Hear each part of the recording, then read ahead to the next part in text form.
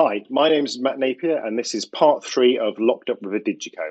In part one, um, I showed you how I would build the session file on this SD12. In part two, we went in how to uh, set up a mix and build a mix. We also looked into macros. And in part three, we're going to go into snapshots and how to use timecode to fire your snapshots. So if we look on the software here, you can see our snapshots. I'll just close this. If you go to the snapshots tab, it comes up with the snapshots page. Now, the very first thing you need to do, and this is part of setting up your desk, is decide what's going to be included in your snapshot. So you have the tab here for global scope. Uh, when you open this for the first time, uh, by default, everything is selected. Uh, snapshots are basically, if you think of a camera, when you save a snapshot, you're saving every single detail on the desk. And when you recall a snapshot, if the parameters are selected for recall, they will be recalled. Now, when I first start building a show, I actually keep a lot of things out of snapshots. Um, when they're out of snapshots, think of them as an analog parameter, so they don't change from snapshot to snapshot. You can change the, uh, for example, here I have my input devices excluded from snapshots. That's the uh, the actual head amp gain plus the uh, patch, so that's currently out of snapshots. Uh, input channels, um, the input tab here. I'll often enable this later on once I'm a bit more set. That changes the digital trim. But these are the parameters I'll start with, including in snapshots. And as I progress more into the show and we have more snapshots, I will then add more parameters into the snapshots. Uh, the reason for doing this is day one in rehearsals, you don't want to be changing things too much because the musicians will still be changing things, and you want to wait for things to settle down a little bit. Wait for the keyboard player to get all his uh, patch levels correct before you start writing them into snapshots. Otherwise, you run the risk of chasing around in a circle and neither of you being very happy. Um, so once you've selected your global parameters, you can now create your first snapshot. So basically, if you click on Insert New, and I'm going to give this the song title here, and also my second song, I'll create a second snapshot. So that was one of these days. So that's my two snapshots for each song. Now, when I toggle between, if I go uh, via next, via previous down here, and I can also do that on the console if we're on the console here, if I'm going from between snapshots. Now, at the moment, both snapshots are exactly the same. So, for example, now I'm in one of these days snapshots, the second one. I will pull these two faders down here. And then if we go back in the software and we'll go update selected, update current, sorry, and that updates the current snapshot that's highlighted. So now, if we go back to view the desk and I toggle between the two, you can see there the faders are changing. So as you build your snapshots, you I always start with a snapshot for each song, um, and then as the show develops, I'll add in more snapshots in between. Um, one of the things you can also do is have a crossfade between your snapshots. So if we go into scope here and select crossfades, we can select crossfades. Now, at the moment, we just had a fader change. So let's give the fader change a little bit of time. So let's go up and give it, say, one second in between. So now when we change between those two snapshots, what we should see, I go back and show you on the camera, as I change back to the first snapshot, rather than jumping up, the faders move up slowly. You can do that with all the parameters. So you can set your parameters up to have different snapshots and different fade times. So as you switch between the two, the music doesn't suddenly jump to the new level. You have a nice smooth fade. So you build your snapshots for the show the next thing you need to realize is that within each snapshot, you also have individual scope. So if we go down here onto this tab, you can see that on the screen, and click recall scope, this allows you to actually select individual parameters. And I'll go into this in a bit more detail in a minute. But between the global scope and the snapshot scope, you have a lot of flexibility in what you want to change in songs as you go along. Um, and the other big thing to know about snapshots is you can have groups. So you can add snapshots to a group. If you go to the groups tab here and give it a new group name, so we might say the first set, set one, and then basically we can add, let me get rid of that tab there, we can add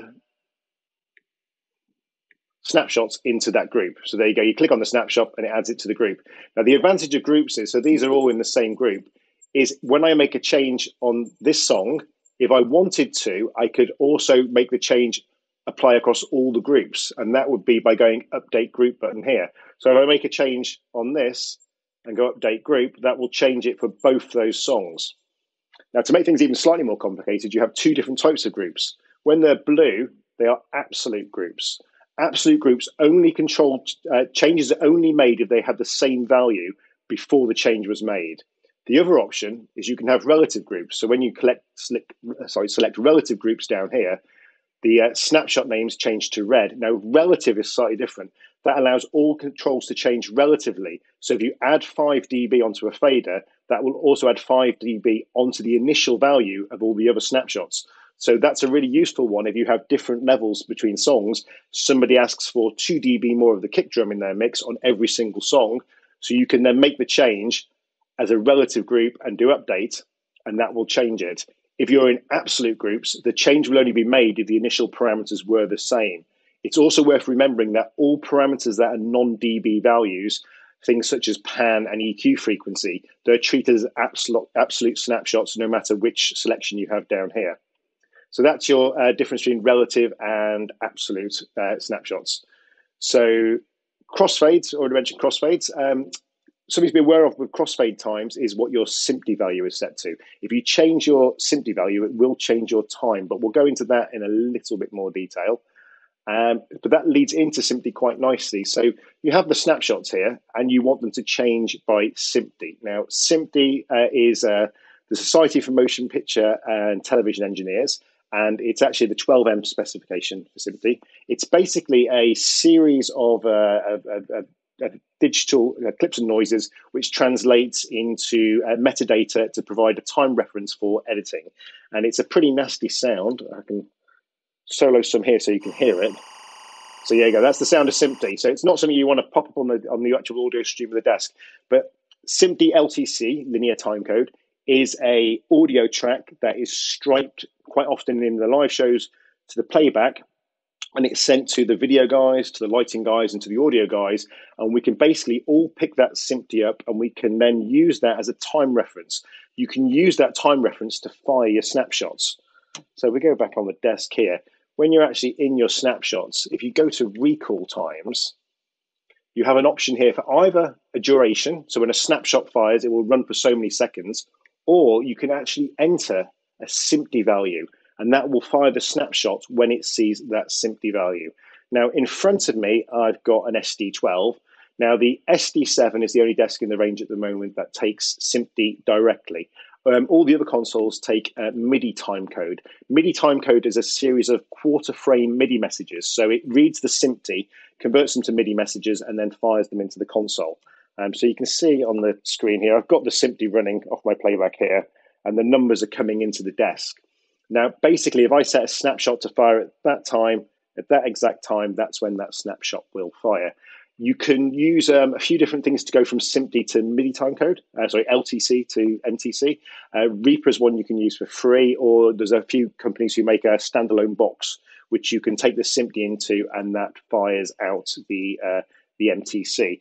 Now, when you first set it up to use with SMPTE, you have to decide on your frame rate. Uh, SMPTE has a, a four or five major uh, different sample rates. Um, there's, let me see if I can find it on the screen. I can never remember where this is. It's something you set up at the beginning. There you go, time code and transport. And you can see this panel here. I show you on the offline software. Where's my mouse gone? Yep, setup, time code and transport. So the beginning of a tour or the beginning of a show, you would decide with whoever's sending you the SMPTE, you would ask them what the frame rate is. So we're using 25 on this particular project. Um, the different uh, frame rates. You have 24, that's uh, mainly for film, and it's also now used for 4K and 6K video production. Uh, 25 is used for PAL and SECAM and DVB. Uh, 2997 is a North American frame rate, mainly used in North America, and 30 is ATSC. Uh, you also have for 2997 and 30, you have drop frame, and what drop frame basically does, it was a compromise when color was brought in for NTC, NTSC television, and it basically skips 18 frames every 10 minutes. But for audio, it's mainly either 30 for North America, uh, non drop, and it's uh, 25 is for Europe because that was the standard that's been decided by the European Broadcasting Union. However, in terms of what we do, it doesn't really matter as long as we set this up at the beginning. Now, earlier on, I said it changes your uh, time on your crossfades, which I can show you on here. Uh, the crossfade here, let me give this a crossfade of uh, one second. Now that's, oops, sorry. So there you go. It's got crossfader one second on the kick drum on the fader there. Now, ooh, hang on, let me pull that back up so you can see it. There you go. Now, if I change the uh, the time code here, so I go from 25 frames to 30 frames a second, and actually, if we look on here now, if I close this and then reopen it, you'll see that crossfade time has changed, and that's because we've changed what time is. Rather than having 30 frames, uh, sorry, 25 frames in a second, we've now got 30 frames in a second. So that's why before you start the project, decide on your SMPTE time rates, because otherwise it will mess up your. Uh, you see that it's gone back to one second now, which is what we want. So it's important that you set this up at the beginning. So you um, you you talk to the people on the project, you t- work out what the uh, the SMPTE coming into is going to be. You agree on a standard, 25 frames per second, um, and then everybody's on the same page in terms of uh, what the, the sample rate is for the timecode. So the linear timecode comes to you at the mixing console. If you have an SD7, you can go straight into the back on the SMPTE input. If you have a SD5 um, or any of the other consoles in the range, you can either run that SMPTE uh, through a bit of software on your computer, or you can run it through a standalone box to convert it to MIDI timecode. And that's why on here you can see I've selected the timecode source as MIDI. So MIDI is the timecode source. Um, if I had an SD7, I'd be able to select SMPTE. If I wasn't using external timecode, I would run the timecode master myself and have this set to master. Um, you can then route your timecode out to an output, and you can also have it offline. So you can take it, if you were the master, you could take it off, offline to stop other machines triggering. So there you go. Once you've got your uh, your your timecode source selected and it's set up, you can now um, on your snapshots go to your snapshot that you want to change. Um, I'm going to go to this one. And you can select the time when you want this snapshot to change. So you go to recall times, enter in here, and you basically enter in the time. Um, one of the ways I find to get the time is to basically um, pre-record stuff. Uh, sorry, record stuff when we're rehearsing, and then afterwards, when the band have gone, I'll use my offline recording. I'll pause the recording where I want the snapshot change to happen, and I will then enter in that SMPTE time so it changes. Um, you've got to be careful what you put into snapshots. So, for example, we've got these two snapshots here, um, which are the two songs. Um, so we're on Breathe at the moment. But in the middle of the song, I might want some changes to happen. So I may insert another snapshot here, and I might call that um, the Leslie up because Leslie cabinets are quite noisy when they're not being played. So this snapshot here, I'm going to just bring up the Leslie. But if you can remember from before, we had a situation where this global scope and the snapshot scope has most of the things included. So if I look into scope here now and go to recall scope, everything's selected, but I don't actually want everything selected. So if I uh, just minimize this, if I take everything off for now, sorry, a little bit laborious. And then for this particular snapshot, I'm just going to change the Leslie. Um, I'll tell you what I'll do that in a second. So the Leslie down here, there's the Leslie low and the Leslie high channels. And we're going to basically, on this snapshot in the middle, we're going to change the sends for it. And we're going to send change the fader values. Now that basically means that in my snapshot panels here, if I make any changes be before this cue, then it doesn't matter. They won't change when I go to this snapshot. If I was, song starts, if I made some changes, when this snapshot comes up, if I hadn't taken everything else out of scope, any of the changes I've made would revert back to where they were the last time I'd saved it. So that for that reason, snapshots have got to be very specific in what you want to change. Otherwise, you can dig yourself a big hole, and you could be in a situation where you make a change for a musician, the next snapshot comes along and changes, and all your changes that you've done you lose. So this way, this snapshot now, the only thing that happens in this snapshot, because I changed the scope, is all it's going to do is change the send values and the rot- uh, and the fader values for those two channels, and that's all it's going to change. If I actually um, go to the recording here, uh, let's go to Reaper, and if I start it just before we get to the bit where the Leslie comes in, and what I'm going to do is I'm going to pause the track just at the bit where I want these um, these inputs to come on. So it's coming up, and I want to bring the faders up here. So there you go. If I look at the desk, you can see the desk there. You can see I've captured the timecode reference it wants to be. So now I need to enter that into my software. There you go. So Leslie up, we want that to happen on uh, zero hours, uh, two minutes, 49 seconds, and 20 three frames. So obviously 25 frames per second, that's just before the 25th second. And then you make sure that active is switched on here. So now when it sees this time code, the desk will change for me. So let's go back to the desk and we'll just have a look here. So in my first song, Breathe, I want the Leslie down. So I'm going to save that there. In my next one, I've got the faders coming up, which is fine. So now let's see if this does it manually for me when I run the music. Let me go back to Reaper. There is a slightly quicker way of doing this as well, which I will show in a minute. Oh, I've lost my marker in Reaper. Okay, here we go. Let's see if it brings those faders up for me.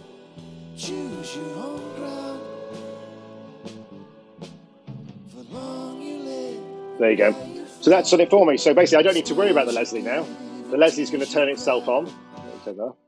And that's the beauty of snapshots. Now, because the only thing included in that snapshot were those two channels, I can be mixing, doing other things, and I don't need to worry about the Leslie being switched on. It will just do it by itself. Um, so I always try and automate the constants and keep the variables free. So that way I can focus on the variable things, but the constants, the things that happen every single night, every single night, I know that Leslie's going to come in in the right place. So I can basically turn the faders up, just before the musician hits the keys, and that way the mix is nice and clean. And the Leslie mics are just turned on just to the bit when he plays, and that keeps everything nice and clean and simple. Now there is another way of doing that, um, which is we go back to the snapshot here. When you're in, you can capture the actual snapshot as it's going. Uh, where's it gone? Here it is. So if I go to recall times and then select capture recall times, uh, what this does is it enables a new mode now. So whenever I insert a new snapshot, it will automatically take the time code that's currently playing at the time. So if we uh, play a bit of music, oh, that's the top of the show. Let's jump to here. Okay, so I'm going to insert a new snapshot. Insert a new snapshot. Give it a name. Call it snapshot number three. No particular reason. And let's stop that. And then when we go into our recall times here, number three will now have, you can see there the time codes. I don't know if you can see very well on that screen, but yeah, basically now that's captured the time code that was playing at the time when I hit um, insert new. So you can do it two ways. You can either do it that way as you go along, or the way I tend to do it is I tend to record stuff uh, with the musicians in rehearsals, and then I can get the exact point where I want the snapshot to be, and I can put the time in and I can change it. So that's uh, two ways of uh, firing your snapshots from SMPTE. I think that's most things that you need to know about snapshots to get you started with the SMPTE. Um, the main thing with the SMPTE is make sure that you get the the frame rate correct before you start, um, and that everyone's on the same page. It will say on the console when you're uh, when you're on the timecode and transport page, if you select the wrong one, it will actually say mismatch when it's playing. So, for example, if I play some music now, it'll come up and say mismatch. So it's it's quite easy to get it right. But you need to get it right at the beginning because otherwise, if you change it afterwards, all your crossfade times change, and that can be a little bit of a pain to fix. Um, so yeah, if there's anything else anyone wants me to do, any other videos, just uh, maybe drop uh, DiGiCo an email or put it in the comments box or something. And then um, we're still in lockdown, so I've still got time to do another one. Um, I hope they've been of use to people. Um, I hate making them. Um, I just do it as a, a, keep myself busy while I'm stuck at home. Um, but yeah, hopefully they've been of some interest to some people. And thank you very much for watching.